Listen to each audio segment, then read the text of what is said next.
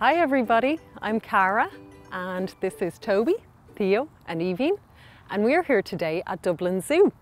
This yoga class is part of the Eco Explorers Club series. Inspired by the Zoo TV programme, this class is all about biodiversity and how we can help protect Ireland's habitats.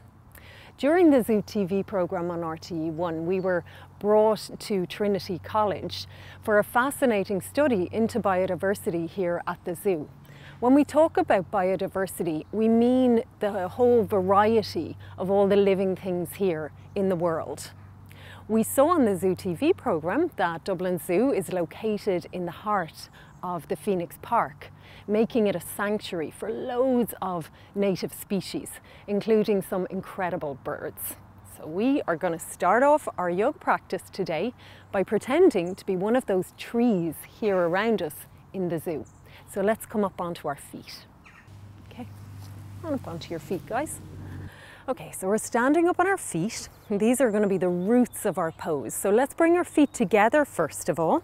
I'm going to show you a few different options here. We'll bring our hands together and Evie's going to do the first option, just turning her leg out and keeping the toes on the ground.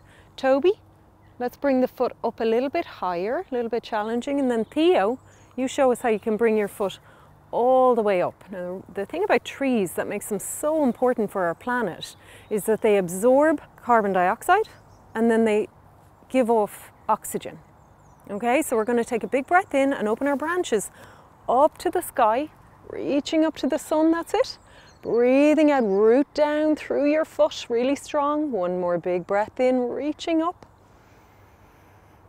Good, now bring it down. Can we do that on the other side?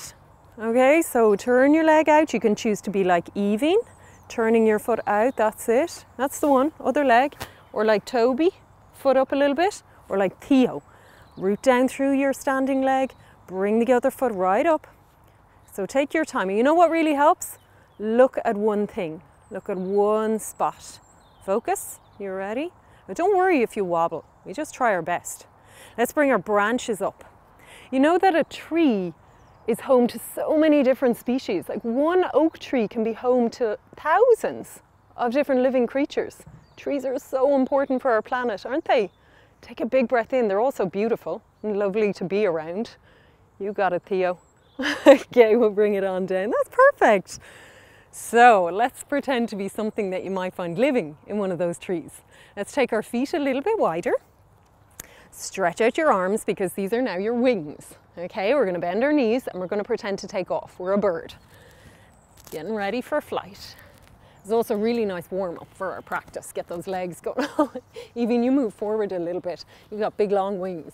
Theo is an albatross. He's got huge wingspan. Evie is an owl. And Toby, Toby's favourite bird, is a pigeon. You'd see lots of pigeons around Ireland, wouldn't you? Okay, let's bring it on up to standing, guys. And we're going to be an eagle.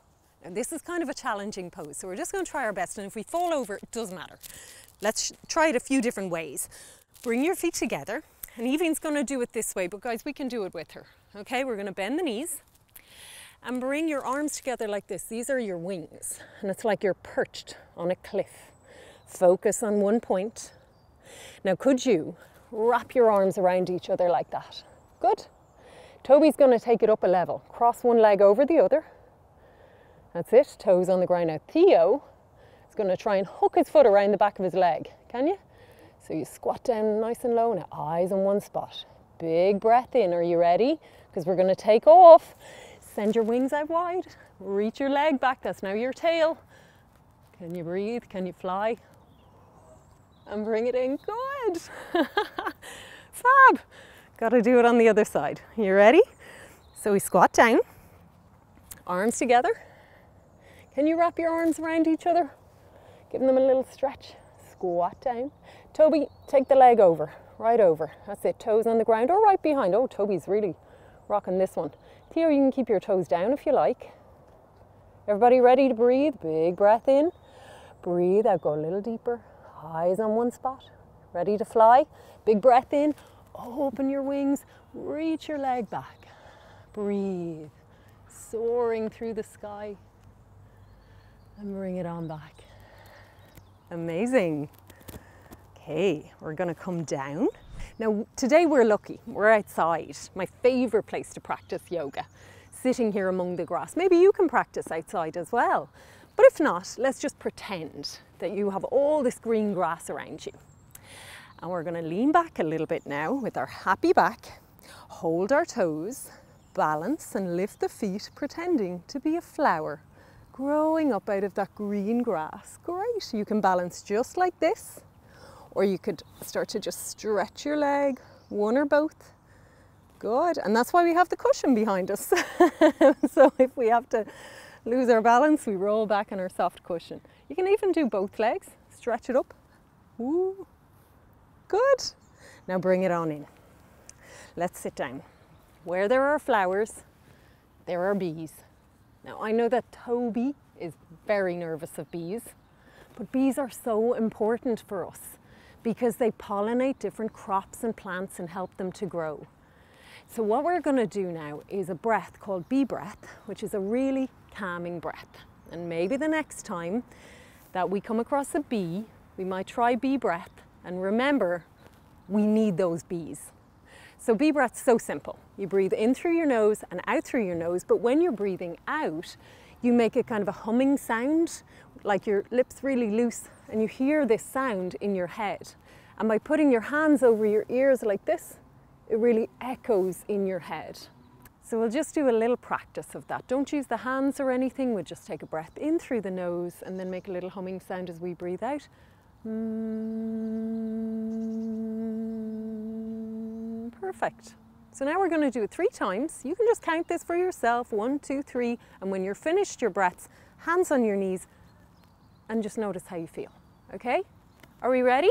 So we take a big breath in, hands over your ears really loosely, and start your humming sound. Buzzy bee in your head. Hmm. You can let your eyes close and really be with that sound in your head. When you need to breathe in, you just breathe in again through your nose.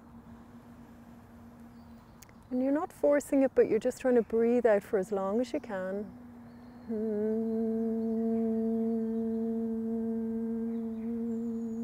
One more time in your own, with your own breath.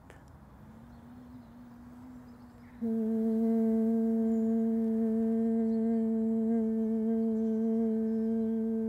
when you're done, you just put your hands down, close your eyes.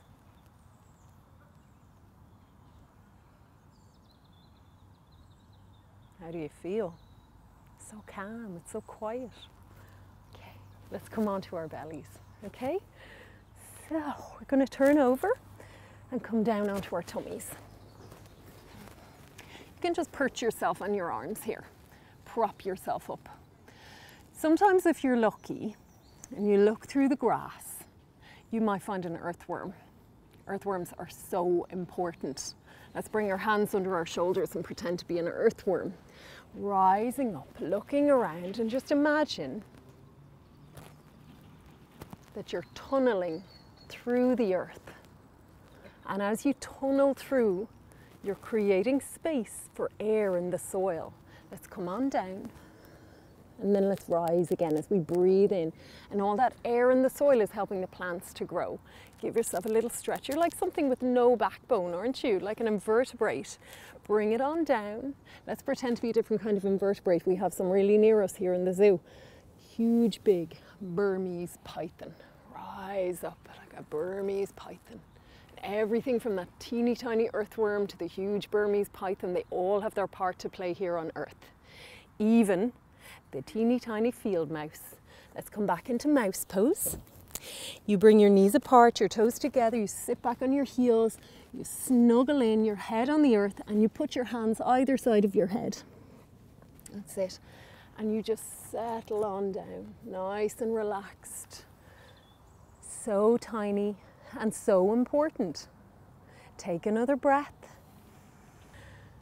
And you know what else plays a really important part here on earth, but is way bigger? The lion. So let's come up. Sit back on our heels. We're going to do lion's breath. You put your hands on your legs. You take a big breath in through your nose, lovely happy back. And when you breathe out, stick out your tongue, look up high, Ready? Do that two more times. So you take a big breath in, and when you breathe out, you're letting go of all your frustration. It's not shouting, it's just this big breath. You ready? One more.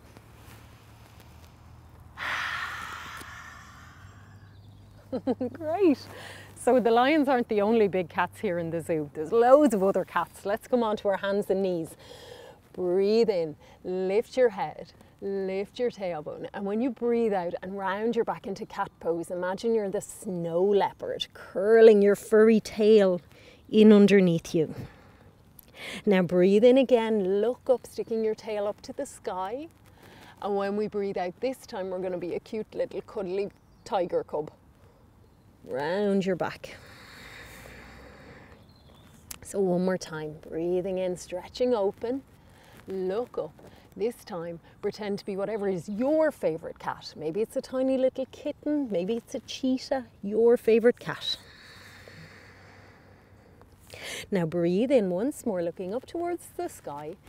And we're going to come back into downward dog because I have a special pose just for tigers. So, hips up in the sky, Bring your feet together. We're going to breathe in and lift one leg way up high. That's like your tiger's tail. And now as we breathe out, we're going to bring our tail into our nose, give our nose a little tickle. Back up to the sky, big breath in, over to one arm, breathing out. Try and tickle your arm with your tail. Good. Right back up. Across to the other side, breathing out. Can you twist it over? Not easy back up to the sky, big breath in. Bring that foot down and let's try the other. Breathe in, way up to the sky. Into your nose, tickle your nose. Way up to the sky. Into your arm, breathing out. You're flying, guys. One more time. Other arm, breathing out. Well done. Way up to the sky once more and then bring it down and just walk your hands down towards your feet. Hang down here, standing on your feet, hold your hands. Those arms aren't arms, those arms are a trunk. Big breath in, up, breathe out. Splash in that water. Over, you giving yourself a shower. Lovely. Water is such an important part of the elephant's habitat here in the zoo. Elephants are my favourite animal in the zoo. So one more time, they love throwing the water up over themselves like this, don't they? Now from here, oh, last time, we're gonna come up to standing, turn our trunk back into arms, and we're gonna go to another part of the zoo, much drier, the African plains. We're gonna bring our feet together, and we're going to grow into the tallest animal in the whole world. Bring your arms up. This is your mouth up here now, and you're nibbling some leaves. Can you? Make yourself even taller. Come up onto your toes, way up high. So good. Breathe and reach up. And then breathe out, come down. You know who shares the African plains with the giraffe? Well, the zebras, but also the oryx. Come up to the front of your mat. Stand one foot there and let the other foot step right back. Bend your front knee, put the back heel down on the ground, really strong legs face forwards. Have your hands forwards first, okay? But now we're going to turn our arms into the beautiful antlers of the oryx. So Theo, face forwards like that and bring both arms up and then bend your knee. Now the oryx is actually extinct in the wild. Take a big breath in, breathe out, bend your knee because they've been hunted and their habitat has been lost. Breathe in and then breathe out, bring it back. But there is good news. We step our foot up, step the other leg back. About two years ago when we were here at the zoo, a baby oryx was born. Breathe in, bring your beautiful antlers up to the sky. Dublin Zoo is doing a lot of work to help conserve the oryx and even reintroduce it to the wild. Such important work for our planet. So let's breathe in and be that beautiful oryx. Open up, breathe out, bend your knee, that's it. One last time. And then breathing out, step it on up. Beautiful. So from the really dry plains of Africa, we're back to the water. Let's come down onto our hands and knees and see if we can guess who this is. You take a breath in, big breath, You're surrounded by water. And as you breathe out, sit back on your heels and pretend you're going down under the surface of the water, breathing out as long as you can. And then when you need to, you breathe in and you come up again. Have you guessed who it is? It's the hippo. Breathing out. We've seen the hippo stay underwater for 45 seconds. So all we're trying to do here is breathe as slow as we can. Come up when you need to, big breath in. Breathe out even longer. Toby, I think you probably need a breath in. you ready? Let's rise up one more time. Up we come, rising up. Good. And breathing out. This time we'll just settle down and relax.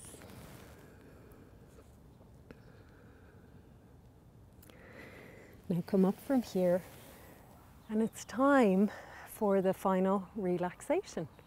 So why don't we get ourselves a cozy blanket and if you still have that cushion, you could put the cushion underneath your knees. Do you want to do that? Grab your cushion, put it under both knees if you want to. And what we're going to do with the blanket is we're going to stay sitting up for a moment and we're going to put the blanket over our legs like this and then you're going to hold it with your hands at the front like that. Okay? Let me make sure these guys are okay. Over your legs, and you just sit up with your happy back and hold the front of your blanket. Okay, you're nearly there, Evie. Good girl. Right. So this is a little trick that helps us to relax. Sit with the legs out long. I've got an imaginary blanket, maybe you do too. We're going to hold it in front we're going to count down as we roll down. Five, four, three, keep going, two, one, and then relax and drop the blanket over you. Good. Spread your body out on the ground so you feel really relaxed and comfortable. Maybe you can turn your hands to face up, resting the arms down by your body. Now if you like here, just open your eyes and look at what is above you. And then let your eyes close. Now, maybe you're like us and you're outside, maybe you're not. Being outside in nature is so relaxing and so good for your mood. But if you're not outside and you can't be outside, let's just go there in our imagination, okay? So feel lovely and comfortable, make any adjustments you need to make, let your eyes close. And then imagine that above you right now is a beautiful blue sky with maybe some gentle clouds slowly changing shape above you. Feel the soft grass beneath you and the earth supporting the weight of your body like it was giving you a hug. Notice the sounds that you can hear so for the next few seconds, let's just listen.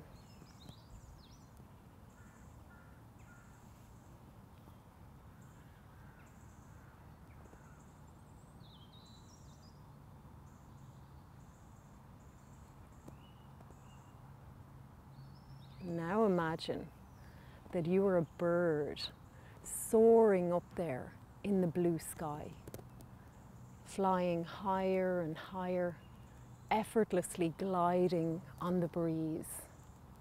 You swoop lower and then you rise again. And maybe there are other birds with you, your friends. You're having so much fun flying up there in this endless space. What do you see below you? From way up high as you look down, can you see grass and trees? Can you see rivers and lakes, beaches and oceans? From way up high in the sky, you look down and you see the beauty and the wonder of our planet. Such an amazing place to live.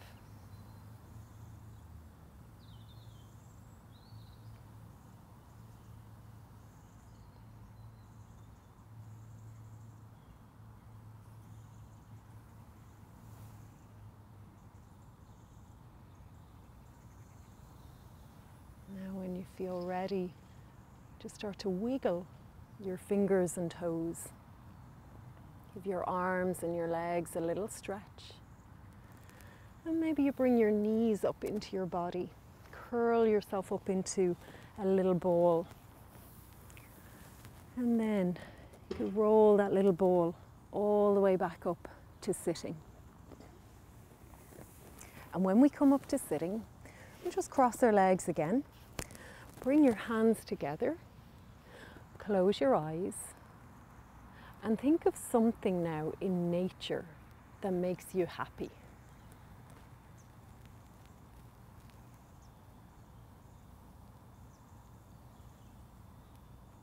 Namaste.